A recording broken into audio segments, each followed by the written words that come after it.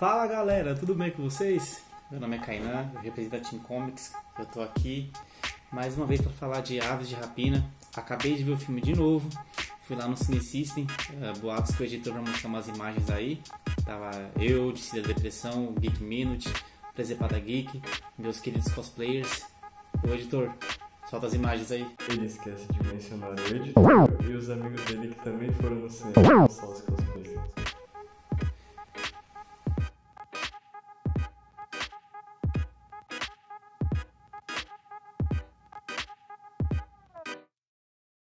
Desde já eu quero pedir para vocês se inscreverem no nosso canal, deixar aqui aquele like poderoso que ajuda nós pra caramba.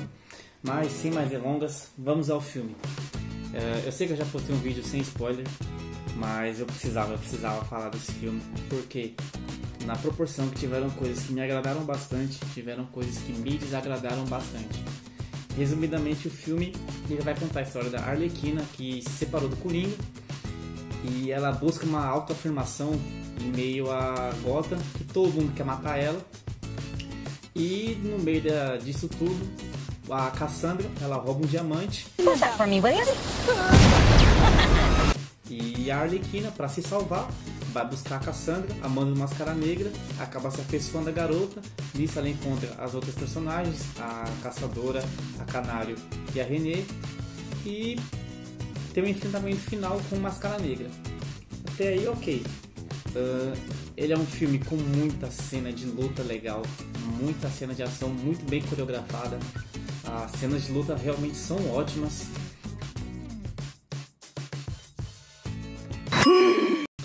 Uh, só que na proporção que essas cenas de luta são ótimas, eu fiquei muito puto com o modo que essas coisas foram construídas durante o filme. A narrativa não é linear, ou seja, é flashback atrás de flashback contando a história. Isso acaba se tornando uma coisa maçante. Então, quando está no meio de uma cena sólida, de uma luta construída, a cena para e volta no tempo, um dia, dois dias, uma semana.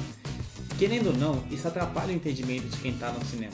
Como já tinha comentado antes, eu acho que esse filme da Arlequina, sua emancipação fantabulosa, ele é um filme que os seus defeitos são superados pelas qualidades. E realmente, tanto que na, na crítica sem spoiler eu dei nota 7, mas essa questão do de não ser linear, de ter muito flashback, eu acho que é uma coisa que realmente é uma coisa que pode muito bem ser melhorada pela Warner se eles quiserem continuar trabalhando com aves de rapina, se eles quiserem pensar mais pra frente em ter sereias de Gotham. Não tem como falar desse filme sem falar da Margot. A Margot é ótima, a Margot é maravilhosa. Ela conseguiu carregar o filme praticamente sozinha nas costas. E do mesmo jeito que eu aponto ela como destaque, eu aponto a Canário. Eu adorei ela, eu achei ela ótima. E eu esperava que ela tivesse um pouquinho mais de tela, mas isso eu falo daqui a pouco. E na mesma proporção que eu gostei da Margot, eu gostei do vilão, gostei do McGregor. Uh, eu gostei da forma como, como ele conseguiu desconstruir a, a, visão que a gente tem de um vilão. Que o vilão tem que ser viril, ele tem que ser másculo, ele tem que ser é, maquiavélico, ele tem que ser maldoso, ele tem que ser. tem que intimidar o tempo todo. Ele não precisou fazer basicamente nada disso para ser um vilão, para ter destaque, para ser um bom vilão e para ter medo, é, para as pessoas terem medo dele, para ele ser respeitado. Então eu gostei bastante do McGregor como Máscara Negra. Eu só acho que ele poderia, já desde o início, uh, desfilar por aí com a sua máscara, para ser ainda mais, é, mais foda. Mas ok, a gente perdoa. Aves de Rapina, ele é um filme legal, ele é um filme divertido, com boas piadas, ele tem bastante alívio cômico que chega na hora certa, não é uma coisa forçada. Uh, muita gente achava que ia ser um Deadpool da DC, muita gente achava que ia ser um Esquadrão Suicida 2. Assim, ele até respeita a ligação que ele tem o Esquadrão Suicida, mas desde o início o filme mostra, ele consegue se desvincular totalmente do Esquadrão Suicida. Aves de Rapina é bem melhor que o Esquadrão Suicida. E ele consegue mostrar isso por todas essas cenas de ação, é, por toda a coreografia, até pela narrativa, mesmo confusa, ela é uma coisa mais é, mais bem construída do que foi mostrado em Esquadrão Suicida. No mais, Aves de Rapina é um filme que não se leva a sério, ele não se deixa levar a sério. E eu creio que isso foi para ajudar na ligação com o público, porque vai ser muito difícil você ver um fã não gostar desse filme. principalmente pelo início, que é, é um início cartunesco. Isso pra quem gosta de quadrinhos foi uma coisa realmente maravilhosa. Foi até nostálgico. Mas, como nem tudo são flores, cara, eu elogiei tanto o vilão e eu não consigo entender por que descartaram o vilão no final do filme. Porra, ele é um vilão com tanto potencial, o ator se encarnou tão bem no papel e simplesmente descartaram o vilão, jogaram ele fora, mataram o cara. Tipo, não precisava, ele podia ter sido preso, ele podia ter sido derrotado de outra forma, ele não precisava ter sido morto. E da mesma forma que eu acho que ele foi descartado, é, o, o, jeito que o desenvolvimento da René Montoya eu achei totalmente desnecessário. Ela nem precisava estar no filme, do jeito que o personagem foi apresentado. É, ela é um ótimo personagem. Podiam ter mostrado a, a origem dela de um jeito melhor, diferente e um jeito mais próximo dos quadrinhos. E ela simplesmente só estava lá. A autoridade dela era questionada sempre, até pela própria Arlequina. Ela não foi levada a sério o filme inteiro, foi deixada de lado o filme inteiro. Até a própria Cassandra, assim, se você parar pra ver, é, tá certo que era uma criança e tal, mas é, chega o filme chega no, no, esbarra num problema que a maioria dos filmes com mais de dois personagens esbarra. Tem que ter tempo de tela, tem que ter desenvolvimento, tem que ter uma coisa coesa para todo mundo e não consegue. Do mesmo jeito que a Canário conseguiu ter destaque e até mesmo a Caçadora que não apareceu tanto, mas chegava com seu alívio cômico. What?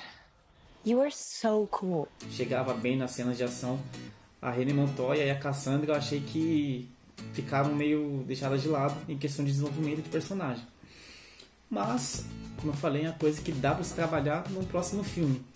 Só uma coisa que eu realmente é, foi a coisa que eu menos gostei de tudo. O nome do filme é Aves de Rapina. E a Aves de Rapina só foi visto literalmente na última cena. Que foi quando a Arlequina pegou a Cassandra, fugiu, deixou a caçadora, a Renée e a Canário. E só ali elas se denominaram aves. Tá, eu sei que é uma história de origem e tal, mas elas foram vistas juntas literalmente na última cena o filme se esforçou tanto, a narrativa se esforçou tanto para explicar uh, na, no ato final que elas tinham que se juntar para lutar com um inimigo em comum, eles podiam ter feito isso muito antes para as aves de rapina terem sido vistas muito antes. Não uma coisa que tenha sido deixada para o ato final, uma coisa que tenha sido deixada para a cena final. Uh, isso eu achei um tanto quanto um erro do roteiro. Mas faz parte, né? Nem todos são flores, como eu disse.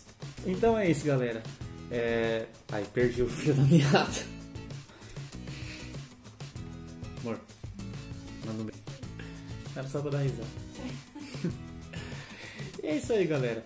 Se você já assistiu o filme, me conta o que você achou. Vamos dialogar sobre. Conta se você concorda ou se você discorda da minha pessoa. Quero interagir com vocês. E vão ao cinema. Não se deixe levar pelas críticas dos outros porque do mesmo jeito, a crítica que se diz especializada, é, eles falaram muito mal dos filmes anteriores a DC, estão falando muito bem desse e muita gente está se deixando levar, dizendo que é uma espécie de complô para levantar a moral do filme, que o filme não é bom. Então não, não caiam nisso. Vão pela própria vontade de vocês, criem vocês a sua opinião e seu próprio conceito, certo? Não esqueça de deixar aquele like, se inscrever nas nossas redes sociais que o editor vai deixar por aqui. E, galera, tamo junto. E é nóis.